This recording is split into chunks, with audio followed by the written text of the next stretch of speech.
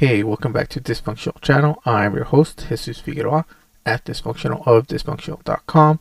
And today I'm going to get to chat with French filmmaker Ilana Navaro, whose current documentary feature film, Josephine Baker, The Story of an, of an Awakening, illuminates the life of the iconic artist and human rights activist Josephine Baker, who is known as the first global black superstar. Josephine Baker, The Story of an Awakening, is going to be exclusively streaming on Cinemoi Network starting on October 29, 7 p.m. Pacific Standard Time and 10 p.m. Eastern Time. Check out the interview. Okay. I I was so thrilled to watch this. It's definitely a film that is needed in this time. Well, How are I'm you so introduced to, to her story? How are you Sorry, introduced to her I story? Introduced? Well, actually, uh, you know, uh, Josephine Baker had um, a sort of a, a pretty oversimplified image here in France. And so, um, so uh, when the producer, my producer, talked to me about eventually making a film on her, I had ambivalent feelings, to be honest. And uh, when I was seduced to to to to to work on it was when I started reading her uh, memoirs, her first memoirs mm-hmm. when she's when she came to France, and they were so fresh and so um, full of insight on um, the way she perceived the way French society perceived her. I was completely convinced that there was a story to tell, to take away all the dust on her image. Definitely. Um, uh, reading a little bit about her, she has so much to her story. How do you how do you find a focus for this? Because she did so much during her lifetime.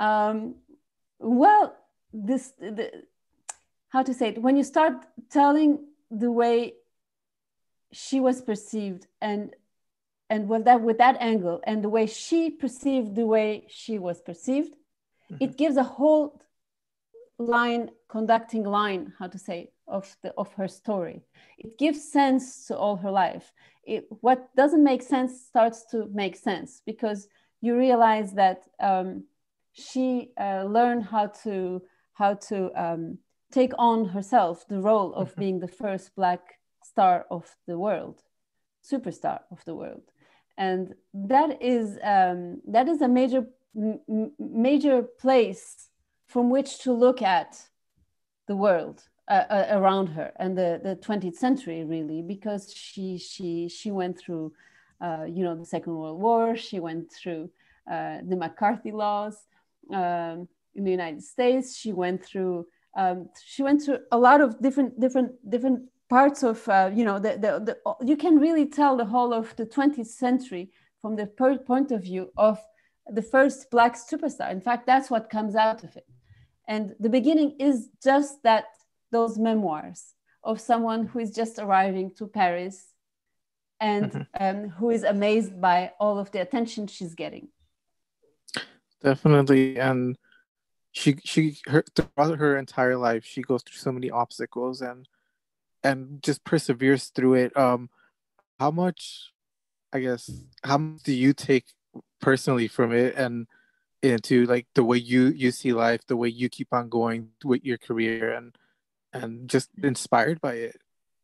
I know it's it's pretty amazing. I kept thinking about her when I was making the film, even at the most hardest moments, and I thought of the way she would take things and the way she would see things well you know she would be thinking probably like well look you have a lot of difficulties but here you are at this particular moment and it's for a reason. And what's that reason?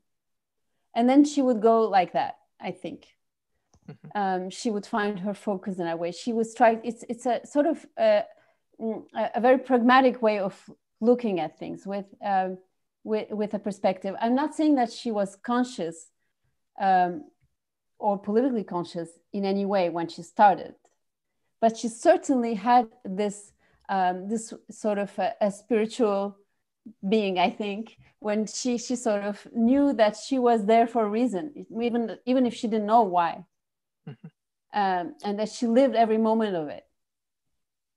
Definitely. And uh, uh, what what kind of response have you had to this film? Because, like I said, it's something that is definitely needed at this time, and I, I think a lot of people are, are finally getting to know who Josephine Baker was through this film.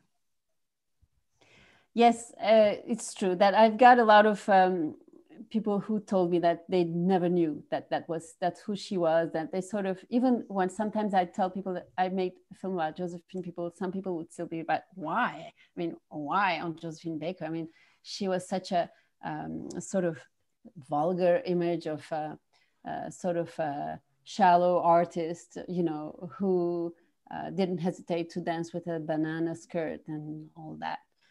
Um, well, I don't think they would have they would stay, still say that when they they would see the film. So um, I think that uh, you know I, I, I was I would really made it a pleasure to play on um, the going back and forth between um, the way the white society saw her and the place they gave her and the way she saw them and that the place that they gave her. And that was my most the best kick i had telling the story. Definitely. And um I, I think when it comes to change and, and anything that is different we always feel uncomfortable at the beginning. And as a society i, I think acceptance is one of the hardest things and i think this film really shows acceptance and how not only she accepted the world around her but she started accepting herself and empowering herself.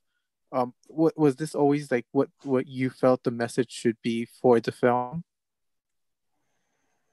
Well the message constructed itself um you know as as far um, uh, you know as the film went along really.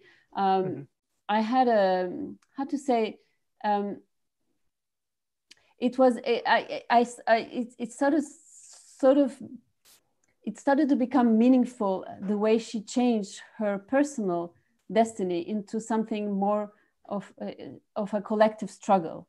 Um, that was uh, the articulation of that was most essential. How to say, um, you know, how how she used her image to uh, to make it to make something that's not just for her but for everyone. Um, and that was a whole life that of maturation. I mean, you can sort of see the way she used she she grew up herself uh, through her own image um, now that you know more about her story, um, how has it impacted the way you're continuing on with life and the way you are are going to power through whatever it is that is coming up for you next? It's a it's an interesting it's it's, it's an interesting question. Um, yes, I actually uh, it's true that I, I I also take a lot of the human lesson that she she takes from uh, she gives and uh, and to make to make things that are you know that, that to take every moment and even if as strange as it comes to take it the way it is and to uh, you know sort of move from there. I don't know how to say it. She has a very particular force and uh, you know it's a she, she's a real a real role model for everyone. Um, and and the movie without me wanting to make it that way turned out to be a feel good movie as they say. You know the sort of movie you want to watch because you just want to, you know, have uh, some sort of uh, optimistic evening instead of watching all this horrible news around us. Yeah, I, I, can totally see that. Um, what's up next for you? What's up next for me? Well, we'll talk about that when I'm almost done. awesome. Um, well, thank you very much for your time. Um, you. this film. Sure changed my view on, on her. I, I know I, I read a couple of things on her and had an image of what she was. And this changed it somewhat. Thank you very much for this film. Thank you. That's great. Thank you very much.